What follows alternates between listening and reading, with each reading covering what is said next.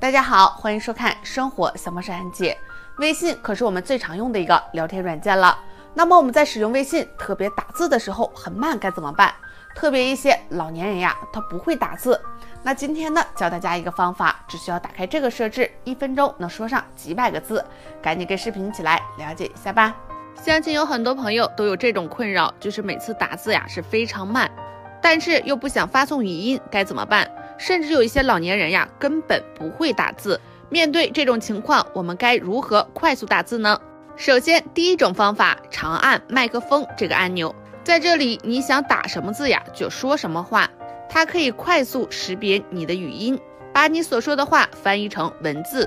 说完后的语音，我们只需要向右滑一下，滑到文字这个位置，这时它可以准确的将我们刚才语音的话段翻译成文字，完全没有错误。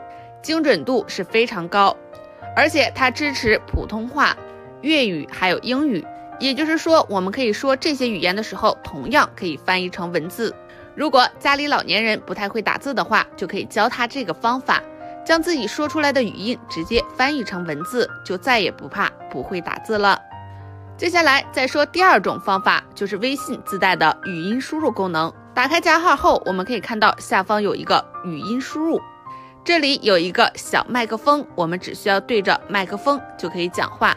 同样，这里可以选择语言方式，选择自己适合的语言方式就可以直接说话了。这个功能跟刚才的是有所不同，这个语音功能是边说边翻译文字，上一个功能是把一段话说完之后，它再给翻译出来。两者大家可以根据自己的需求来选择。这里把自己想说的话直接翻译成文字。同时可以检查有没有错别字，我们将它修改，而且它还可以添加表情。这个语音功能呀也是非常强大，特别适合不太想打字或者是不会打字的朋友，而且识别的字是非常准确，一分钟的话就可以说上百个字。学会的朋友赶紧试试吧。好了，今天的视频就到这里，使用微信的小技巧大家学会了吗？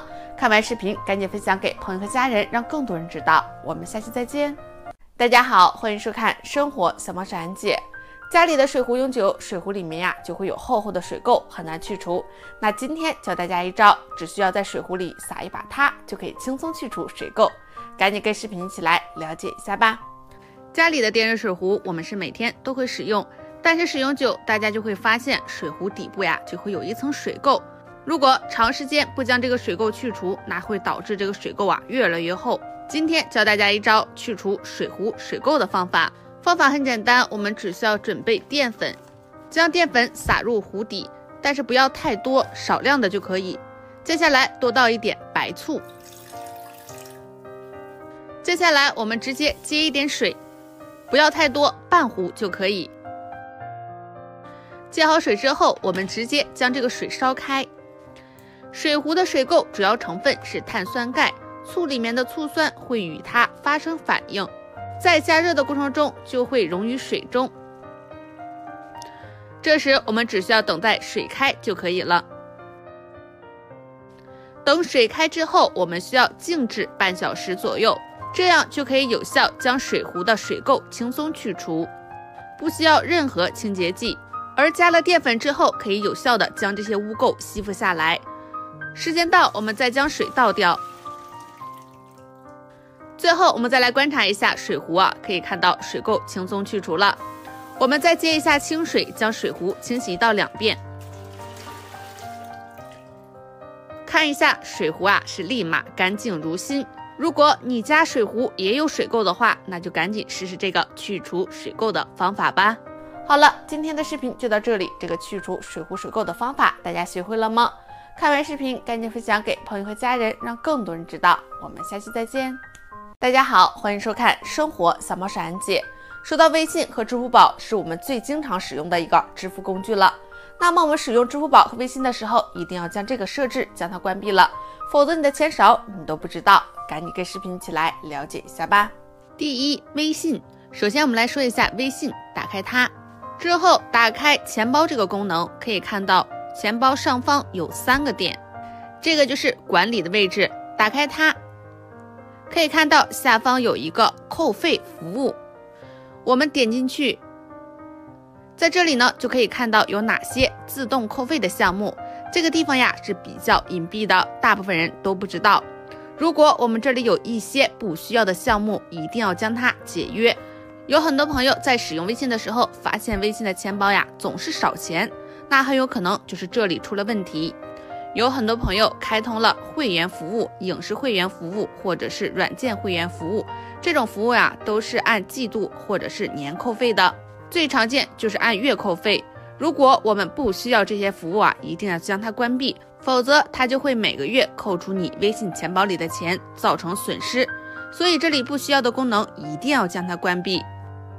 关闭后，我们可以看到下方已关闭的服务，这个就是我曾经关闭过的，有很多扣费项目，大部分都是在我不知情、不小心开通的。因为有的软件你认为是开了一个月的会员，其实呀有很多隐藏条款。它是默认开自动续费，每个月都会续费哦，稍微不注意就会扣除你钱包里的钱，这一点一定要谨慎。第二，我们再来说一下支付宝，我们同样打开支付宝，打开后上方有一个设置功能，在这个页面可以看到有一个支付设置，我们打开它，同样这里有一个自动扣费免密支付的项目。这个功能就是免密支付，我们是不需要密码，它会自动支付。如果这里有哪些扣费项目你是不需要的，同样将它关闭了。不然呢，就是在使用这个功能的时候，在你不需要输入密码的时候，它会自动扣你费。一旦有什么差错的话，我们想追回钱都比较麻烦。所以在使用这些功能的时候，一定要将自动扣费这个设置关闭，避免造成没有必要的损失哦。好了，今天的视频就到这里。使用支付宝和微信的注意事项，大家有所了解了吗？看完视频赶紧分享给朋友和家人，让更多人知道。我们下期再见。大家好，欢迎收看《生活小王珊姐》。平时我们买回来的肉类呀，都会放在冰箱冷冻起来，那么吃的时候拿出来解冻也很方便。但是大家知道吗？放在冰箱里冷冻室的冻肉也是有保质期的，如果过了这个保质期，就最好不要吃了。那赶紧跟视频一起来了解一下吧。家里冰箱冷冻室呀，经常会放上一些冻肉、海鲜等等。大家总是认为将肉啊放在冰箱冷冻室里就放心了，肉怎么也不会变坏，放多久都行。其实放在冰箱冷冻室啊也是有保质期的，就和其他食品一样。那过了保质期，冻肉啊就最好不要再吃了。平时我们吃的猪肉、牛肉、羊肉，虽然冷冻一年也能吃，但是这么久啊，口感已经不好了。而且肉类放在冰箱里太久啊，水分会流失，口感也会变差。如果在保存冻肉的时候处理一下，密封好，包装好一点，也许水分流失就会差一点。但是有时候如果包装不严，随便装一下就直接放在冰箱里呢，过一段时间就会发现这个肉的表面发白，并且吃起来很难吃，口感也很差。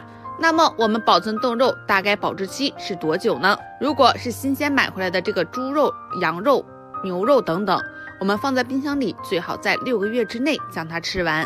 那像鸡、鸭、鹅等这些禽类，它保质期会长一点，我们建议八个月内将它吃完。放久了变柴不好吃，营养也会流失。接下来再说一下海鲜类。像鱼类、虾类、贝类这些海鲜和其他肉类相比呀，保存时间并不长。说到海鲜，一般吃的就是新鲜，建议大家两个月内将它吃完。而且没经过处理的海鲜呀，直接放在冰箱里也会容易滋生细菌。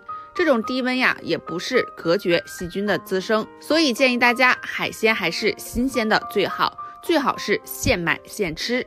另外提醒大家。家里的冻肉啊，最好要分装好，千万不要大块的直接去将它解冻。如果吃不完再放冰箱的话，很容易再滋生细菌。将肉分装好，用多少拿多少，千万不要反反复复的拿出去。如果保存不当的话，就会滋生细菌，这样对我们人体也不利。小编建议大家，不管我们买回来的什么肉，放在冰箱里冷冻室，最好在一个月内将它吃完，而且不要大量的囤肉。只有新鲜的肉吃起来口感才好，营养也不会流失哦。好了，今天的视频就到这里。通过以上的讲解，大家知道冻肉的保质期了吧？那看完视频赶紧分享给朋友和家人，让更多人知道。我们下期再见。